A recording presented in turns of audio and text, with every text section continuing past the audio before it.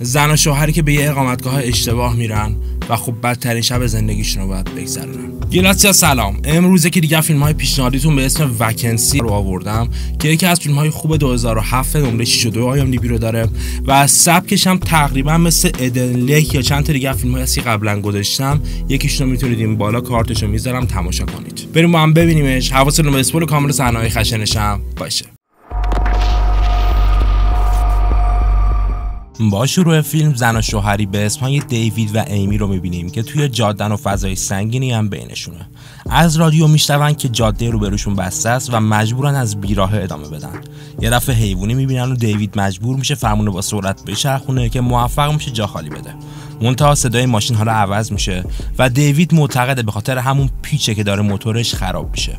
واسه همینم دنبال یه تعمیرگاه میگردن و در همین حینم ایمی سیبی برمیداره. اتفاقی انگشت خودش موقع بریدن سیب دخ می‌کنه و وقتی خون روی سیب میریزه میذارتش توی داشبورد. صحبتشون هم که کلا با عصبانیت و دلخوریه. بالاخره به پمپ بنزینی می‌رسن و می‌زنن کنار. اول سعی می‌کنن از روی نقشه بفهمن کجان که یه دفعه مردی میاد کنار ماشین و هر دو میترسن. اما این مرد فقط یکی از صاحبای پمپ بنزینه و همکارش رو صدا می‌کنه تا بیاد. اونم خیلی سریع مشکل ماشین رو می‌فهمه و با خوشحالی درستش می‌کنه.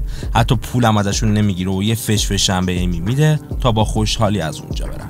هنوز زیاد دور نشدن که این بار ماشین خاموش می‌کنه و می‌زنن کنار. حالا راهی ندارن جزی که پمپ بنزین برگردن و پیاده راه میافتن. توی راه هم می‌فهمیم که این زن و شوهر پسر خودشون رو از دست دادن. سر همین هم است که انقدر به هم ریختن و همش دعوا دارن. هر بار دیوید یاد پسرش میفته ایمی ازش فاصله می‌گیره و نمی‌خواد بهش فکر کنه. وقتی می‌رسن پمپ بنزین تعطیل و تصمیم می‌گیرن توی موتلی که کنارش شبو بگذرونن. به محض ورود به موتل صدای جیغ زنی رو میشنون و یکم استرس می‌گیرن. ایمی میگه بریم. اما دیوید معتقد صدای فیلم و زنگ پیشخانو به صدا در میاره. صاحب متلم از اتاق خارج میشه و با خوشرویی استقبال می‌کنه. بابت سر صدا معذرت می‌خواد و برمیگرده به اتاق صدا رو قطع می‌کنه و حالا با یه کنترل تلویزیون برمیگرده که خب ثابت میشه صدای فیلم بوده. حالا دیوید و امی یه اتاق می‌گیرن و با راهنمایی صاحب هتل میرن اونجا. یه اتاق خیلی کثیف و به هم ریخته که حتی سوسک هم توش پره. امی اصلا دوست نداره بمونه اما دیوید خسته و نمی‌تونه رانندگی کنه. کمی دراز می‌کشن و می‌فهمیم دارن از همدیگه جدا میشن و طلاقشون خیلی نزدیکه. یه رفعه تلفن زنگ می‌خوره اما صدای هیچکی از اونور خط نمیاد. حالا چند بار صدای کوبیده شدن دستی به در میاد اما هیچ کسی اونجا نیست. هرچی صدا می‌کنن جواب نمیده. تا دراز می‌کشم باز همین اتفاق میفته و این بار صدایی در خیلی محکم تره بازم کسی جواب نمیده و بار سوم که این اتفاق میفته دیوید میره بیرون تا بفهمه کار کیه. لازم بگم این اتاق دو تا در داره. یکیش به بیرونه یکیش هم در مشترک با اتاق کناریه. هر دو تا درم صدا میدن. وقتی کسی رو نمی‌بینه میره سراغ صاحب هتل و بهش میگه همسایه بغلی داره اذیتمون می‌کنه. صاحب هتل هم میگه شما تنها مهمونای امشب مایید. اما یه وقتا نوجوانا میان تو اتاقا و یواشکی عشق و حال می‌کنن. اسلحه خودش رو برمیداره و میگه که الان میرم همه اتاقا رو میگردم. دیوید هم برمیگرده به اتاقش و در جواب ایمی که میگه باید از اینجا بریم بهش میگه هیچی خطرناک نیست و نگران نباش. حالا تلویزیون روشن می‌کنه اما آنتنی نداره. گوشیاشون هم آنتن نداره. نگاه دیوید به نوار ویدیویی میفته و برای گذروندن وقت پخشش می‌کنه. حواس امی نیست و دیوید خشکش می‌زنه. تو این ویدیو های مختلفی از وحشیانه ترین شکنجه ها سر چند تا آدم مختلفه. دیوید بیشتر میترسه چون متوجه میشه همه این صحنه ها دقیقا توی همین اتاق فیلم برداری شدن. حالا ایمی هم اینو می‌فهمه و همه چیزهای فیلم رو بررسی می‌کنه بلکه یکم خیالش راحت شه. اما تک تک جزئیات ویدیو تو همین اتاق مشاهده میشه. دیوید که وحشت زده است همه جای اتاق میگرده و حالا کلی دوربین می‌بینه که همشون دارن فیلم می‌گیرن. همین لحظه است که برق اتاق شروع به قطع و شدن می‌کنه. چند نفر شروع به کوبیدن هر دوتا در می‌کنن در حالی که زن و شوهر دنبال راه فرارن. یه آدم هم یه لحظه پشتشون می‌بینیم. بعد چند لحظه باز برق وصل میشه و این دو نفر میرن تا از دستشویی فرار کنن. اما پنجره اینجا با کلی میخ و مهره سفت شده. یه دفعه متوجه سیبی روی سینک میشن. رد خونه روی سیب. بهشون میفهمونه این روانی ها سراغ ماشینشون هم رفتن و همون سیبی که امی می‌خواست ببره رو آوردن اینجا. مطمئن میشن کسی توی همون قایم نشده و حالا که راهی ندارن با آرومی از اتاق خارج میشن و یهو سمت خیابون میدوئن اما قبل خروج محوطه موتل دو تا آدم ماسکدار از روبرو و طرف دیگه میان با سرعت سمت ایمی و دیوی هم راه میافتن اونا راهی جز برگشت ندارن و قبل رسیدنشون خورشون رو میرزن توی اتاق و در قفل می‌کنن. دیوید جلوی در رو گرفته و ایمی سعی می‌کنه میخهای پنجره دستشویی رو در بیاره.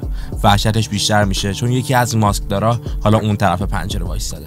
این یعنی همه جای اتاق و همه کارهاشون تحت نظره.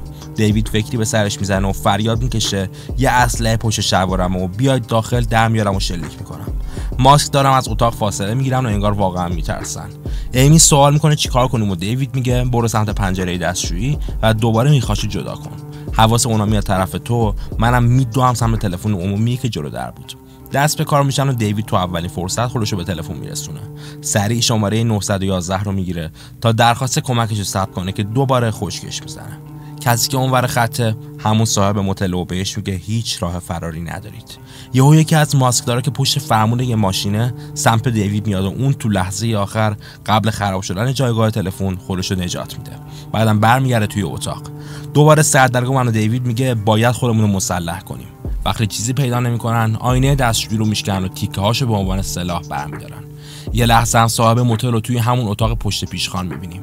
کلی مانیتور جلوشن و مشخصه که مسئول کنترل این دوتا زندانیه.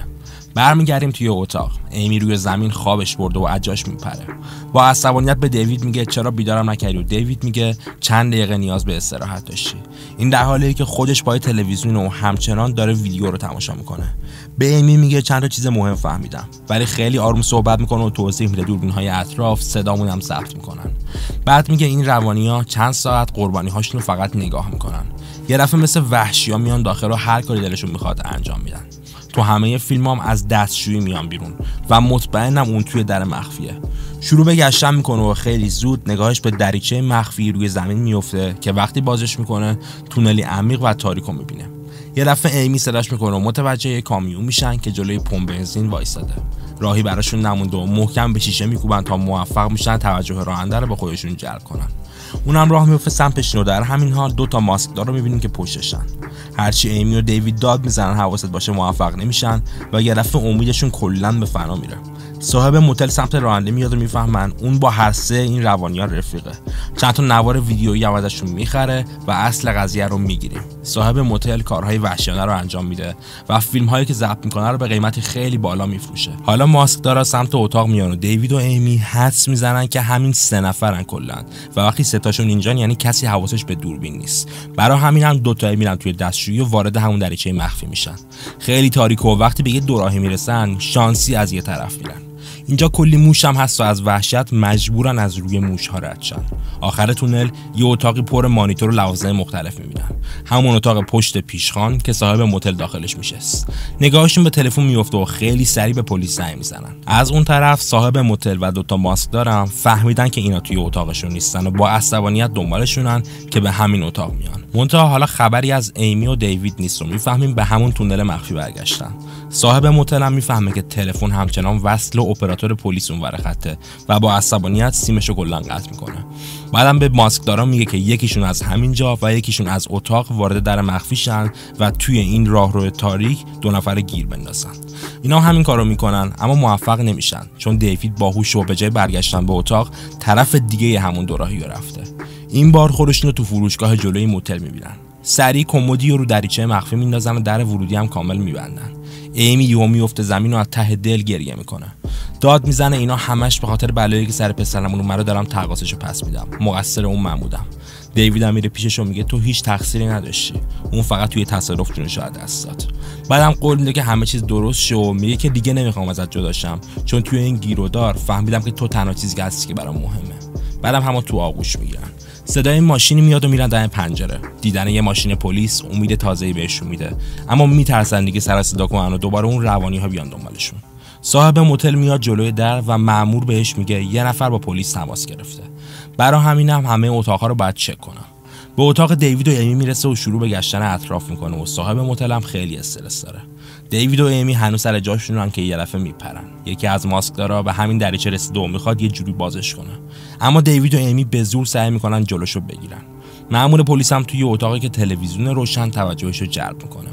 اونم می‌فهمه که فیلم های وحشتناکی که دارن پخش میشن توی همین اتاق ضبط شدن و برای همین هم سری اسلحه‌شون می‌کشه و به آرومی سمت ماشینش میره تا با پشتیبانی تماس بگیره. دیوید و ایمی هم که دیگه نمی‌تونن جلوی در مخفی رو نگه دارن به ناچار فروشگاه در میرن سمت مامور میان. ستایی میشینن داخل و حالا می‌فهمن یه نفر ماشین رو خراب کرده. حتی بیسیمشون هم از کار انداخته و خب مامور پیاده میشه که یه جوری ماشین رو راه بندازه.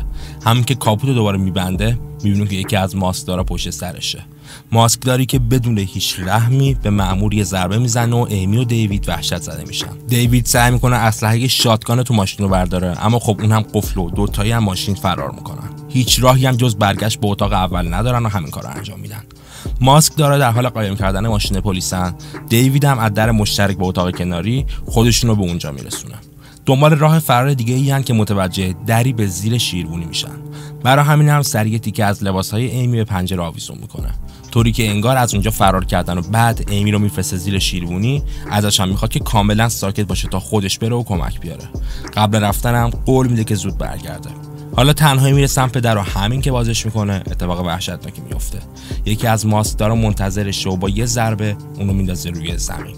ایمی خیلی ترسیده اما چیکش در نمیاد. صاحب موتل با دوربینی وایستاده و داره از دیوید فیلم می‌گیره. بعدم میاد داخل اتاق با دیدن پنجره شکستم فکر می‌کنه واقعا ایمی در رفته. ستای شروع به گشتن دنبال اون می‌کنن و ایمی چند ساعت همونجا میمونه. به محض اینکه هوا روشن میشه از اتاق میاد بیرون. اما یکی از ماسک داره همه این ساعت ها منتظر بود و حالا میفته دنبالش. امی با همه قدرت می دو وسط همین فرار نگاهش ماشین یکی از این روانی ها میفته سری میشینه پشت فرمون و اون کسی هم که دنبالش میپره روی سقف. حالا می‌خواد اونو نگهش داره اما ایمی قصد نداره و فقط گاز میده. جلوی موتل ماسک داره روانی دیگر رو هم می‌بینه و میره طرفش. یه تصادف وحشتناک رخ میده که هر دوشون به طرز عجیبی جونشون رو دست میدن. یکیشون بین ماشین و دیوار گیر میفته و اون یکی هم از ضربه. اما ایمی به خاطر کیسه هوای ماشین سالمه و سری پیاده میشه. اینجا می‌فهمیم هر روی این روانی ها همون صاحب های که اون اول دیدیمشون. صاحب موتل هم سر می‌رسه و با دیدن رفیقاش از قبل عصبی تر میشه. میفته دنبال ایمی و اونم در حال فرار. یاد اولین باری که وارد موتل شد میفته بالای پیشخان دو تا اسلحه بود و برای همینم میره که یکیشون رو برداره. اما ارتفاع اسلحه زیاد و همین لحظه صاحب اینجا بهش می‌رسه. تنابی دور گردن ایمی میندازه و می‌خواد خفش کنه. کلی هم کتکش می‌زنه و دوباره دوربینش رو برمیداره. سرش داد می‌زنه که باید همون اول کارتو تموم می‌کردم اما ایمی هنوز کم نیور رو با لگدی مرد و پرتش می‌کنه زمین. باز با هم دیگه درگیر میشن و این وسط ایمی دقیقا کنار یکی از اسلحه ها میفته سری برش میداره و بدون رحمی همه گلوله هاشو به صاحب موتل می‌زنه. میدو جلوی اتاق وقتی می‌فهمه دیوید هنوز نفس می‌کشه خیلی حالش بهتر میشه. سری برمیگرده داخل سیم تلفن رو وصل می‌کنه و تماس دیگه ای با پلیس می‌گیره و آدرس رو میده. سکانس آخر ایمی کنار همسرش نشسته و در حالی که منتظر پلیسن فیلم به پایان می‌رسه. رفیق اگه خوشت میاد لطفا لایک و بزن. وکنس یکی از اون فیلم های خیلی پرهیجانه و خب از اول تا آخر شما رو بیخوب نگه میداره به خاطر اینکه مدام داره اتفاقهای مختلف توش پیش میاد. یکی از نکته هایی که این فیلم رو به خوبای این سبک تبدیل می‌کنه هوش بالای شخصیتاشه خب ما عموما توی این جور فیلم ها با آدم های طرفیم که خیلی کار احمقانه می‌کنن. یعنی طرف گیر افتاده می‌دونه دارن میان دنبالش و اصلا نمیره مثلا دنبال تفنگ بگرده. از هیچ چیزی برای دفاع استفاده نمی‌کنه. دقیقا میره جایی اونا هستن. اما توی این فیلم برخلاف اون پیش میره و دیگه اینقدر هم هرس می‌خوره می‌دونی حرفم اینه که شما وقتی یه فیلم هیجان انگیز رو داری می‌بینیم با خودت میگی که اگه الان من بودم این کارو می‌کردم. اگه من بودم مثلا می‌رفتم توی دستشوی راه فرار پیدا می‌کردم. توی این فیلم هم دقیقا همین حرفا رو می‌زنی اما شخصیت های اصلمون همه اون کارها رو انجام میدن. و خوبیش هم اینه که نویسنده و کارگردان میان نقاط منفی همون کار رو بهت نشون تو مثلا با خودت میگی که اگه من بودم الان می‌رفتم توی همون پیشخانه اصلی اون اسلحه رو بالا بر میداشتم کار یارو رو تموم میکردمش. اینا دقیقا هم کار رو انجام میده. ولی وقتی می‌رسه می‌بینه قدش نمی‌رسه به اونجا. خب چیزی که تو بهش شاید فکر نکرده باشی. یا توی اون ماشین پلیس که هستن تو با خودت میگی که بابا بگرد چه اگه اسلحه دیگه باشه. دقیقا دیوید هم همین کار رو انجام میده. اما خب تازه می‌فهمیم که اون اسلحه قفله. اگه اینو سرچ هم بکنیم می‌فهمی که تمام اسلحه های شاتگان توی ماشین های پلیس کاملا قفلن و فقط اون چون مامور کلیدشو داره که خب نمی‌تونن برن یارو کلید رو بگیرن. حرف کلی اینه که توی این فیلم شما می‌تونی خودتو جای شخصیت اصلی بذاری و دیگه حرص نمی‌خوری.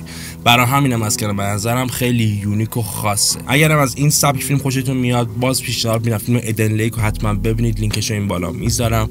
فیلم های دیگه هم مثل You're Next یا Invitation هست که توی کانال گذاشتمشون. اونا هم خیلی هیجانشون بالا دقیقا مثل همین. امیدوارم برید اونا رو هم تماشا کنید و یه کامنت هم براش بذارید که کانال منم یکم دیده شه امیدوارم خوشتون اومده باشه. پیشنهاداتتون رو بنویسید. من هر کدوم رو وقت کنم حتما حتما تو کانال قرار میدم. لایک کامنت سابسکرایبتون نره. روزتون هم گلسی.